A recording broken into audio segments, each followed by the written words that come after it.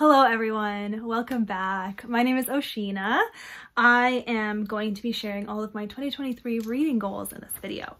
So I am excited to share these. I have really thought about what I want my reading to look like in the new year and how I want to challenge myself slash not. Last year I put a lot of, not, I mean, I started out putting pressure on myself and I slowly eased up on it, but I made a lot of ambitious goals and I wanted to try it out. I, I usually make goals that I know I'll achieve um, just because that's how I like to do it. I don't like making goals that I'm like, eh, this probably won't happen, but why not? Like, no, I don't like doing that. But I tried it last year and it didn't work out because a lot of things changed in my life last year, as you know, um, which is good. A lot of good changes, a lot of just blessings that have been a long time coming. So I want to just have a good time in the new year. I want to just relax and these goals will reflect that, okay? So the first one I always set is a number goal. How many books do I want to read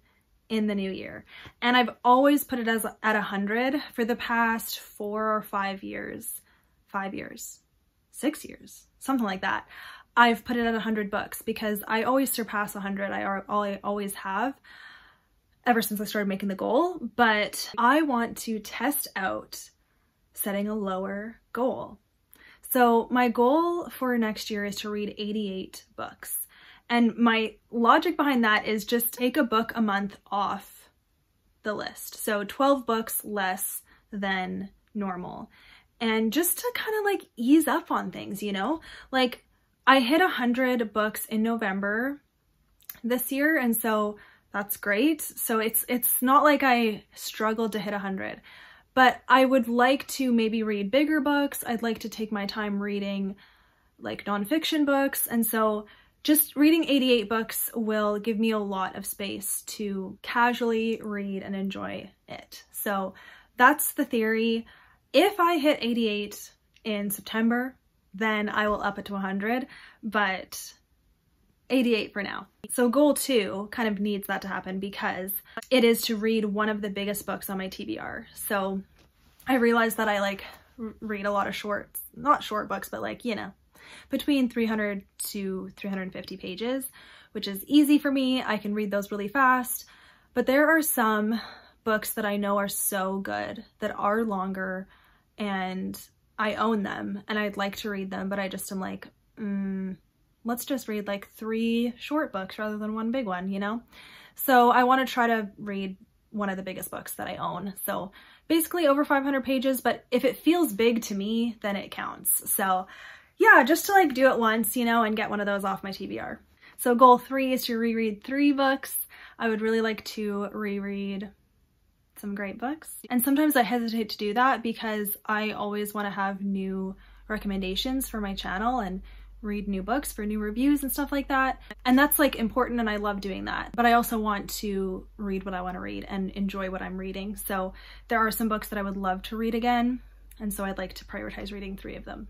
Goal number four is to successfully complete my reading challenge. So I did announce a Christian reading challenge that I'm going to be doing in the new year and I'm so excited about it. So I will link that announcement video down below if you didn't see it, but I'm very excited about it. So I want to successfully complete it. I want to do this. I want to put some effort into this.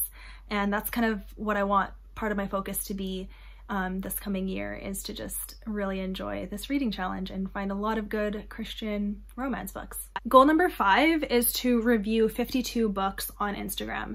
So I'm like fairly okay at this, but I always forget to take a picture of the book. Like I can write a review fine, but it's like taking a picture of it that people would want to look at is what I struggle with. So um, I want to try to like kind of review a book a week, I guess, on my Instagram and um, see how that goes. So that's my goal. And then my last goal is to try Kindle Unlimited.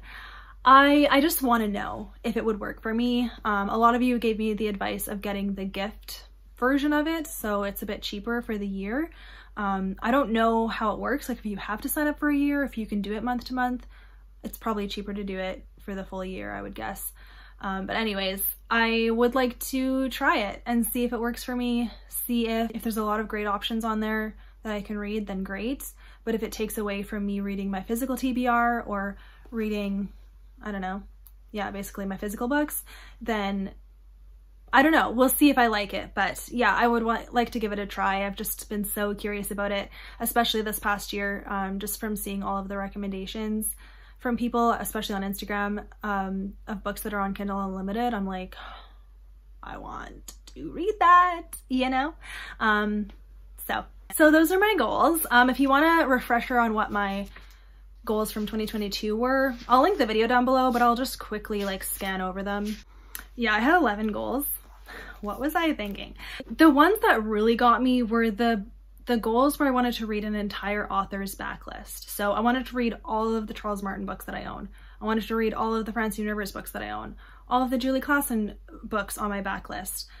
Eh, like, why would I do that to myself, you know? But I wanted to try it and it didn't work. So good to know, right? Um, but yeah, I made a whole video about these goals. I made a whole spread. So if you want to see what I was trying to do last year, I'll link it down below. But this year, yeah, I just want to enjoy myself, you know, and read just the good stuff. So let me know what you think of these goals. Do you think it's a good idea? Do you think, I don't know what you think. I'm really curious what reading or like what setting 88 books as my goal is going to, how it's going to impact. Maybe it won't impact at all, but I'm like excited to do it. So yeah that's everything you guys. Thank you for watching. It was a quick little goals video, but I love these. I love watching them, love reading them, love everything about them. Thank you for watching you guys. Have a good day. Bye.